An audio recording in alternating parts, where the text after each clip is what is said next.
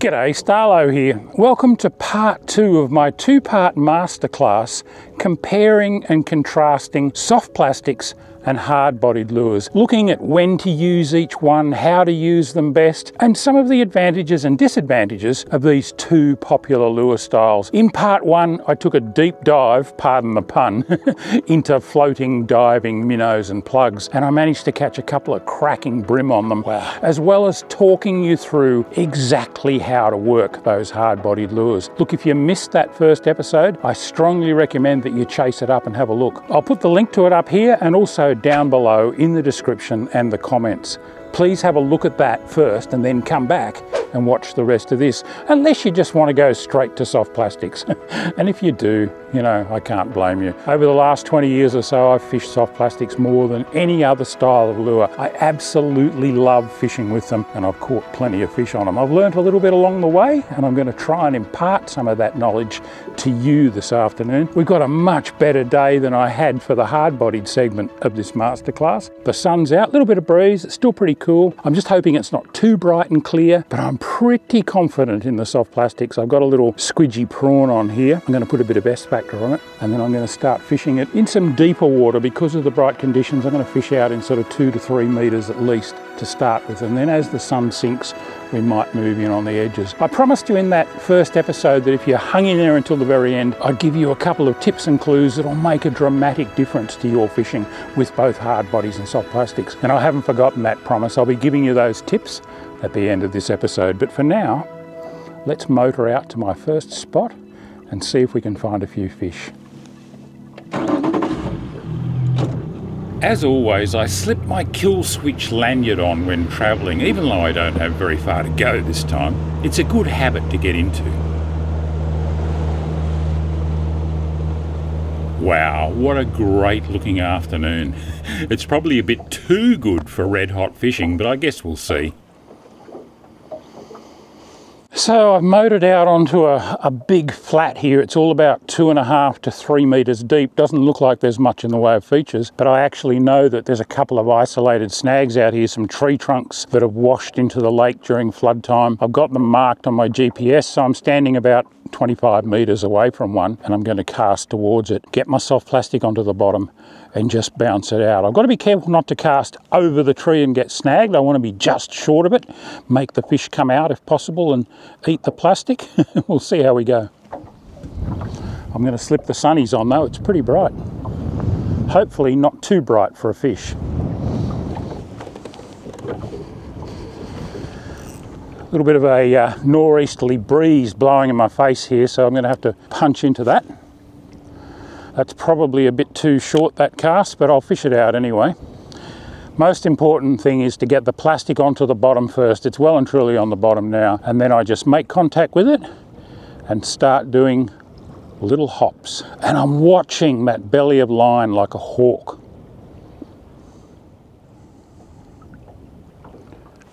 Yep, there we go. First cast. That's nice. Oh, a good fish. That was this really, I wouldn't say a soft tap, it was sharp, but it was very, very light. It was just a distinct tap. And that is so often what you get with bream. Oh yeah, it's a nice one too.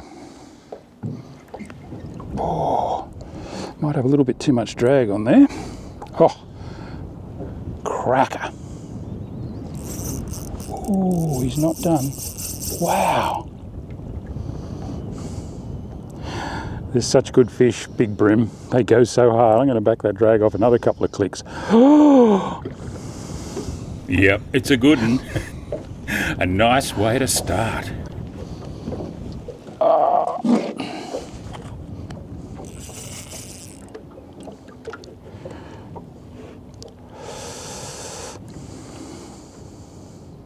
You see what I meant about how slowly and methodically I was working that soft plastic, not lifting it very far off the bottom, just hopping it, making contact with it again. And it was on the drop after one of those hops and I had to actually set the hook. It's a big bream.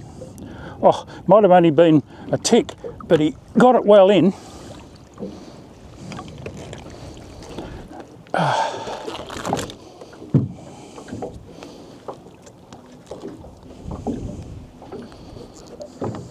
At that. Got a little bit of a sore there. And these black bream do get a few sores on them, particularly uh, in warmer water, but at the moment the water's cold. It's about 12 or 13 degrees. Let me give you a good look at this fish. That's a fish in the low 40s, I reckon, about 41 to the tail tips, 38 fork, something like that. A good 1.1, 1.15 kilos. And uh, look at that absolutely inhaled that soft plastic. And that's what happens when you fish it lift and drop like that. Because it's dropping down through the water, they're able to just suck it in. And that's that tick you feel. It's a really sharp little suck. And then their mouth closes on it. And you've got about half a second to react, or nine times out of 10, they're going to spit it out again. And I reacted by setting the hook and that is the result. And that is how easy soft plastic fishing can sometimes be, not always. that was literally the first cast. I'll put this one in the live well, see if he's got any mates in there. We might even find a really big one. oh, I'm stoked. That first bream actually measured just over 42 centimetres to the tail tips, and with it safely in the live well, I'm trying for another making sure not to let my excitement speed up my retrieve and presentation too much. That's an easy trap to fall into. Oh, had another bump. It was a different kind of bite, that one. Felt very much like it just grabbed the end of the tail and pulled on it. And, you know, that can be seen as a drawback of soft plastics. The hook is situated well forward in the lure and it needs to be to optimise the action. And nine times out of 10, it doesn't matter because the fish will tend to take the lure head first. But every now and again, you will get a tail biter like that one. I'm going to check my lure and make sure he hasn't pulled the plastic down into the bend. No, looks fine. All right, let's get it back up there. I'm watching that belly of line even on the drop because the fish could pick it up on the way down. It's on the bottom now. It's a little bit hard to tell in this breeze, but I can just see that belly of line relax slightly when it makes contact with the bottom. Much easier in calm, still conditions, but you get a bit of a feel for it after a while. And I know that it's only taking probably three or four seconds for this lure to get to the bottom anyway, in two and a half to three metres of water five seconds and it's definitely on the bottom. And I want to keep it down in that lower third of the water column, right through the retrieve, as I reckon that's where the fish will be. I also need to be ready to react to the slightest bump. Although not every bump is a fish. Okay, I've managed to snag my soft plastic on the tree that I was casting towards. I'm going to move up. This will probably put the fish off, but I'll go to another one. I'm going to move up just past it and see if I can get the lure off. There we go. Sometimes all you got to do is get on the other side of it and it comes straight off. It's a good little trick. all right, I'm going to move to my next mark. The sun's sinking lower now too, which can't be a bad thing. Reduced light levels tend to make the fish a little bit less cautious. Bit of a change of pace now. I've come into shallower water. It's only a metre to a metre and a half deep in here, and there's some snags, what our American friends would call laydowns. So trees actually lying on the bottom, arching up off the bottom. Great places for fish to hang out underneath. It's actually really good country for a hard-bodied lure. I love fishing hard bodies in this kind of country, but I want to show you that you can also fish a soft plastic on these snags very effectively. Check that drag. I've still got my open water six pound leader on here, which is a little bit risky. I probably should go up to eight or even 10 pound, but I'm going to stick with the six. Live dangerously. I'm just using the bow mounted electric motor to very quietly get myself into position just a nice casting distance from these laydowns. The fish will be spooky in this shallow water, so I don't want to get too close, but I want to be able to just get my lure into the zone. What I'm going to do when the soft plastic hits the water is let it sink vertically straight down the front of the snag. As soon as it touches the bottom, I'm going to start hopping it away from the snag. That's probably a little bit too far, but we'll give it a go. Yeah, I only got within about four metres of the snag, probably not close enough, but I'll fish it out anyway.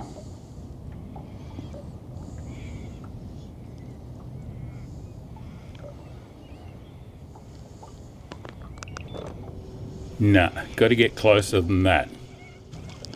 All right, this next cast should be on the money. That's pretty good. Yep, that was pretty good. Oh, now I've got to get him out of there. Oh. Luckily, he hesitated for just a second or two before turning back for the snag, and I was able to get a couple of cranks on him. I don't want to get in there too. Oh, he's a good fish. I'll just use the electric to push us back a bit.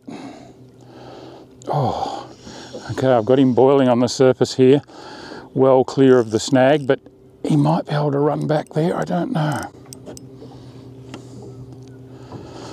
And there you go, fishing soft plastics on a snag. As I said, great hard-bodied water, but also very good soft plastic water.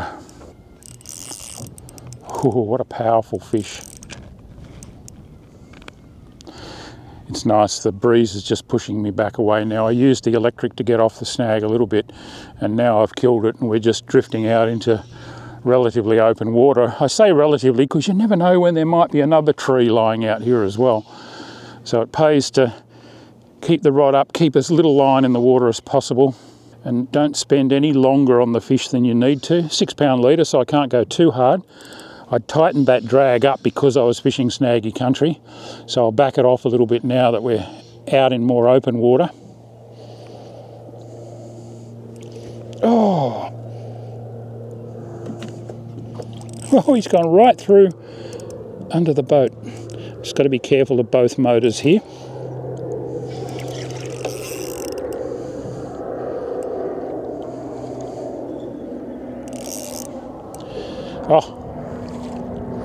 Good fish. Good fish.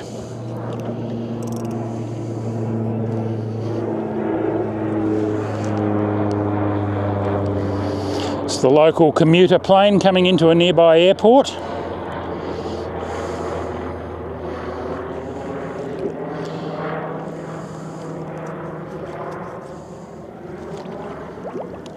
Got him.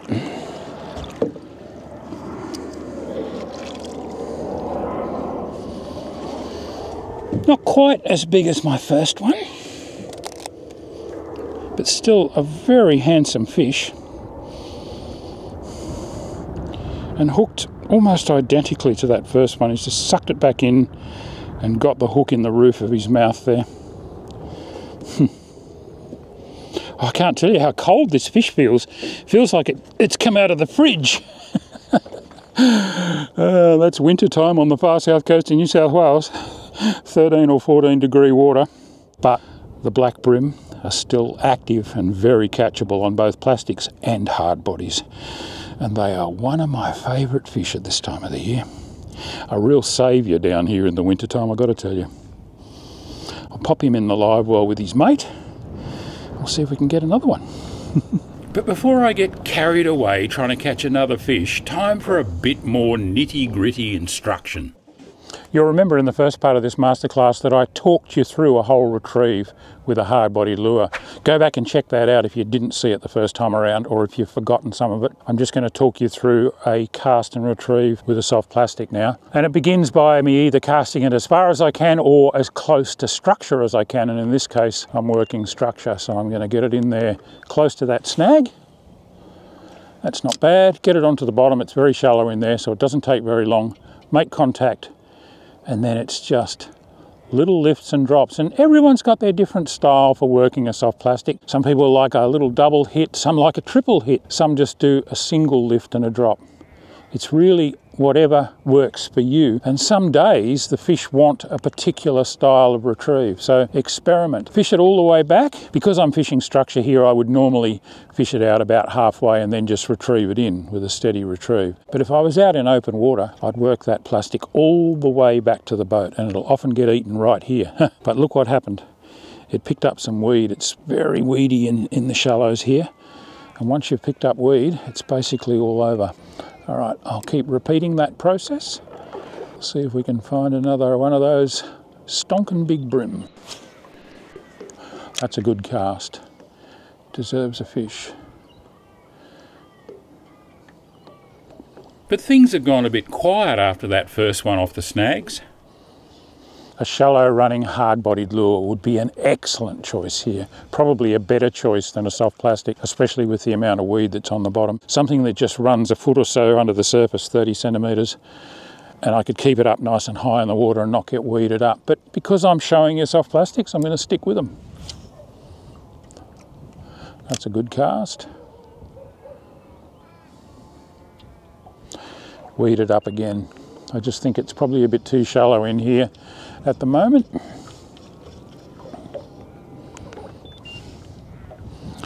Lovely uh, greenweed for catching a blackfish. I should collect some and take it home.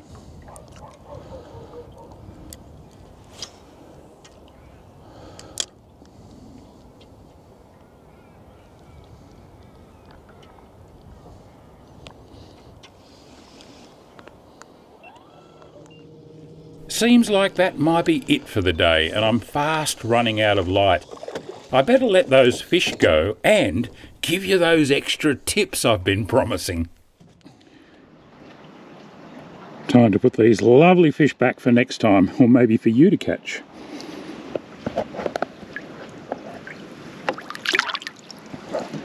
How good does he look in the late afternoon sun? Off you go, mate. I'll see you again when you're 46 or 47 centimetres long. Beautiful. Now remember at the beginning of this two-part masterclass on soft plastics and hard-bodied lures, I told you that if you hung in until the end, I'd give you a couple of really important tips that'll improve your results wherever you fish, whether you're using hard-bodied lures or soft plastics.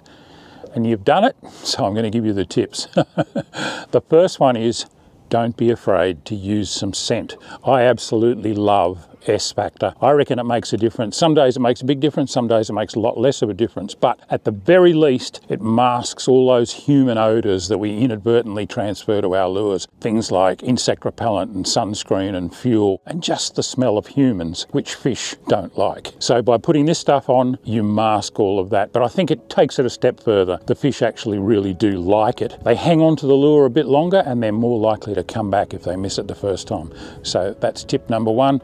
And the other tip is just fish as light as you can for the prevailing conditions. Use the lightest, thinnest main line and the finest leaders that you can get away with and you will get more strikes. Now you don't want to go overboard and fish too light and start losing a lot of fish. Finesse fishing is great, but there's also what I call the finesse conundrum. If you take it too light, you start losing more fish than you land. So you've got to find that fine line between strength and finesse. When you do find it, your results will go right up. My first reaction to any tough bite is to downsize my lures, downsize my leader diameter, lengthen up my leaders, stay a little bit further off the cover that I'm casting towards, just make things a little bit more sneaky, use a bit of subterfuge, a bit of finesse, and you'll catch a lot more fish, no matter what you've got on the end of your line. I really hope you've enjoyed this two-part masterclass. Look, if you have, please give me a thumbs up like down below. And if you don't already subscribe to the channel, what are you doing? Jump on there and subscribe. There's lots more stuff like this coming up. You can help me to produce content like this too by shouting me a beer or buying me a coffee. for just five bucks. And every five bucks that I get puts a bit more fuel in my boat and car tanks and lets me travel around and produce material like this for you. I'd really appreciate it if you could just kick the can and shout me a beer or buy me a coffee, but you don't have to. I'm giving you this stuff anyway. Look, until next time, this is Starlo wishing you tight lines. I reckon I might have time for one more bream.